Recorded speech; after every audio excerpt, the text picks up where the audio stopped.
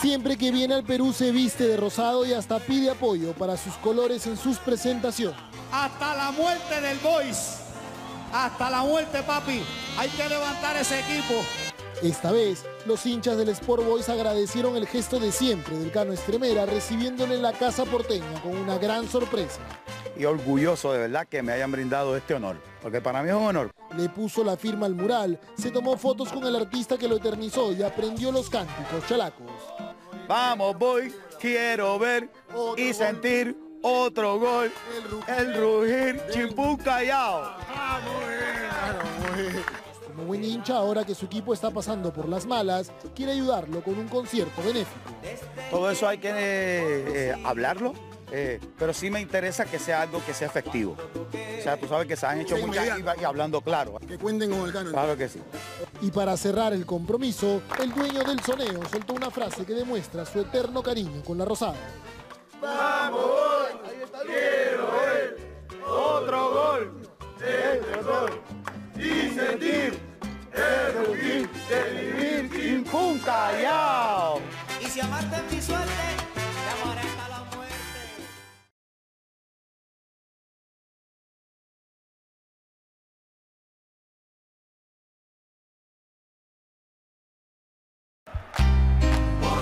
Será un duelo con sabor a primera. En la tierra de la salsa, el visitante buscará dirigir la orquesta. Los rosados recibirán a la franja en el clásico de la segunda.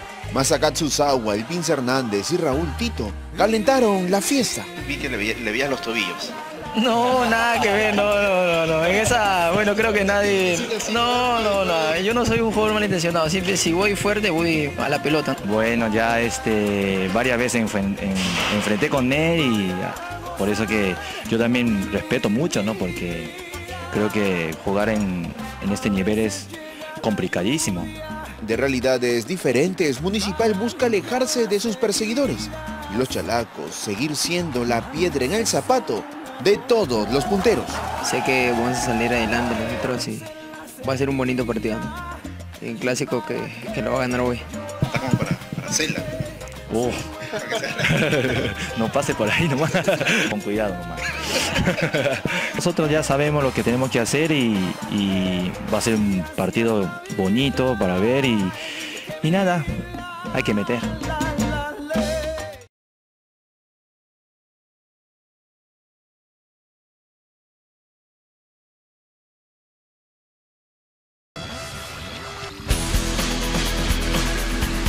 Tienes la posibilidad de tener una revancha. ¿Por qué digo esto? Porque fuiste antes a Alemania, quedaste ubicado entre 80 deportistas, entre los primeros 11, y ahora vas por, por esta posibilidad de poder llegar a un mejor puesto, ¿no? Sí, sí, estoy muy emocionado porque estuve en el 2012 en esa competencia. Y bueno, me fue bien, ¿no? Porque quedé 11, fue mi primera vez en Europa, en- mi primera vez en un mundial.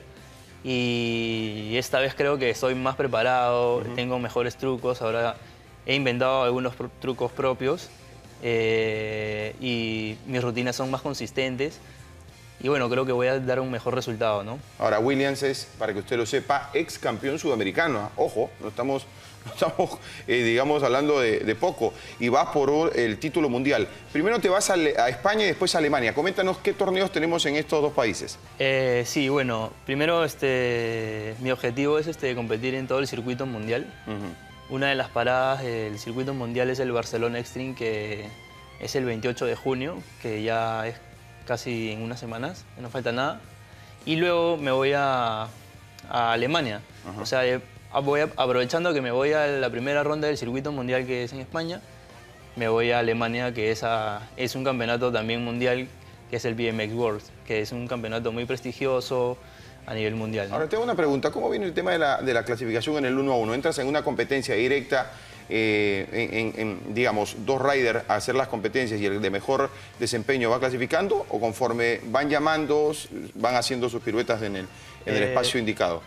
Eh, la por general son 40 riders que compiten en, los- en algunos campeonatos, bueno, como este que es en el, el Barcelona Extreme, son 40 riders invitados, Ajá. ¿no? Y primero hacen una, cl- una clasificación, le dan un puntaje del 1 al 100 a los 40 y clasifican 16. Luego de los 16 hacen una columna de batallas, Ajá. que es este uno contra uno, ¿no? Ahí van haciendo las batallas y luego ya se van sacando A los ganadores. los ganadores, ¿no? Los primeros lugares.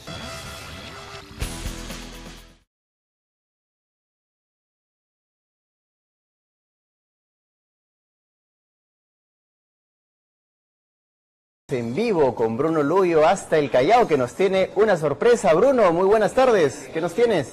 Muy buenas tardes Paco, así es, me encuentro en el Centro Cultural Alejandro Miró Quesada del Callao y acaba de llegar pues la novia del mundial, de todos los mundiales, la gran Larisa Riquelme, quien ah, junto al doctor Juan Sotomayor, alcalde del Callao, pues se va a poner nada más y nada menos que la camiseta del Boys, a todo esto en solo minutos. Nada más y nada menos que la camiseta del Sport Boys. Bueno, con esto y más vamos a regresar más adelante y por supuesto con una entrevista exclusiva a la bellísima Larisa Riquelme en eh, nuestro... Ahí se va a poner la camiseta, miren ustedes, tenemos la suerte que vamos a ver con Juan Sotomayor, el alcalde del Callao. Así Está es, invitando Paco. a colocarse la camiseta del Sport Boys. Vamos a escuchar al, al alcalde. Sport Boys del Callao. Es nuestro equipo, chalaco realmente, que siempre lo amamos y lo queremos. Quiero que, por favor, te, te- te pongas la camiseta del Sport Boys, que es nuestro equipo emblemático. El equipo emblemático del Callao, obviamente el Sport Boys. presente y gracias, la verdad que es una ciudad hermosa. Eh, desde que vine a Lima, ya como ocho veces, nunca tuve la oportunidad de conocer el Callao y la verdad que me encanta, es una ciudad maravillosa y muchísimas gracias por el presente y me voy a colocar. Ahí vemos a Larisa que se va a preparar, se va a poner la camiseta. Larisa, unas palabritas. Te estás poniendo una camiseta emblemática. Sí, sí, ahora me voy a poner. A ver. ¿Le queda, le queda? ¿Ustedes qué dicen? Paco, ¿tú qué dices? ¿Le queda? Sí, le queda. Le queda perfecto, Bruno. Le no queda perfecto, ¿ah? Le sienta muy bien además ese color a la, risa, a la Le asienta muy bien, por supuesto, me están diciendo, alcalde, Larisa, que le queda muy bien la camiseta, pero una vueltecita, pues a ver, a ver. a ¡Epa! Larisa Muy bien, ha venido un poco bien. recatadita. Se va a convertir Larisa, ¿cómo entonces está? Bruno en la novia del Sport Lo que Boys. pasa es que estoy eh, recién operada y todavía tengo un poco la, la faja y todo lo demás, así que por eso estoy un poco cuidándome y con el trajín de todos los días hoy, que estuve desde el domingo, tengo que cuidarme un poquito. Así que para la próxima ya vendimos un poco más estafada. Así es, por supuesto que sí. Al En ocasiones como esta creo que hay que venir hacia la ocasión como la perfección de acá del, del- del alcalde. ¿Hasta cuándo te queda? Hasta oh, mañana y viajo a la madrugada del jueves. Alcalde, aparte de la camiseta, ¿hay otro galardón para la señorita? Sí, tenemos una sorpresa para, para ella. Tú sabes que los chalacos realmente tenemos una gran fortaleza que es el Real Felipe, que fue Bruno. defensa contra la invasión española acá y tenemos un recuerdo a ella. Paco, dime. Bruno, sabemos que nuestro compañero Omar Ruiz de Somocurcio también está ahí en esta ceremonia y de repente podemos conversar con él un poco para que, para que nos cuente, porque él estuvo el domingo con, con Larisa en, en Teledeportes también, un poquito que nos cuente eh, de este Así evento. es. A ver, vamos, a ver, Omar, pasa por favor. Ahí estamos viendo un pequeño recuerdo que es la réplica no del Real Felipe.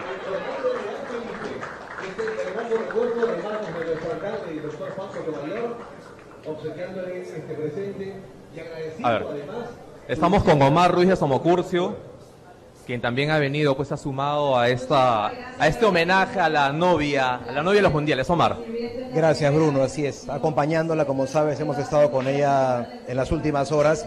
Estamos trabajando un proyecto para el canal junto a ella, que es Samba y Gol, que arranca... ¿No, Jale?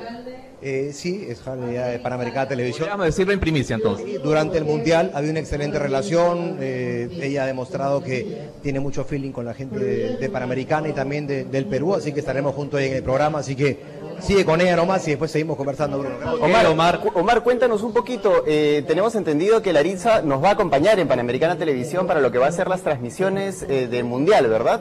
Así es, gracias. Sí, eh, como ya se hizo público en la prensa, teníamos ya una relación con Larisa de, algún- hace algún tiempo. Estuvimos en Paraguay también con ella, pero se conversó acá, se cerró el acuerdo y vamos a estar junto a ella durante prácticamente 40 días en, en Brasil en el Mundial. ¿no? Esto arranca en Río, estaremos en Sao Paulo y en los puntos en los cuales se juega el Mundial, ella va a estar todos los de lunes a viernes de 7 y 30 a 8 de la noche, cubriendo bloques junto a los barristas y el ambiente del Mundial. ¿Cuándo arranca este, este programa? Arranca junto con la inauguración, el 11. eh, estaremos ya ahí. Ella va a estar de gira por algunas, algunas partes de, de Brasil. Así que estaremos transmitiendo en vivo, ¿no? De 7 con 38 todos los días. Y Larisa será uno de los pilares del programa, obviamente, ¿no? La estrella máxima, ¿no? Yo simplemente el acompañante. El chambelán, se podría decir. Bueno, y qué, qué buena compañía que tienes a la gran Larisa Riquelme, la novia de todos los mundiales y por ende el, este Mundial Brasil 2014. Sí, definitivamente, ¿no? Le da una relevancia especial al programa. Como sabes, estamos acostumbrados en el área de deporte en estar siempre junto a la selección. En esta oportunidad, lamentablemente, esto no se va a poder dar, pero Larisa va a cubrir ese vacío de la selección peruana. ¿Cuál va a ser la promesa? ¿Se va a quitar un poquito de ropa si gana pues su selección paraguaya, que llega a cuarto de final? Bueno, con el calor que hace en Río, ya te imaginas en las playas de Copacabana junto a Larisa va a ser sensacional, ¿no? Yo soy un hombre felizmente casado, así que ya sabía que ibas a recalcar eso. Un saludo a la esposa de Omar, por si acaso. ¿eh? Es trabajo, es trabajo. es trabajo, simplemente seré yo un, un- un portavoz, un portador de las imágenes que Larisa le brinde a todo el público. Ok, Omar, muchísimas gracias. Entonces, en breve regresamos con Larisa y que nos cuente un poco más de lo que va a hacer aquí en Lima. Adelante con ustedes.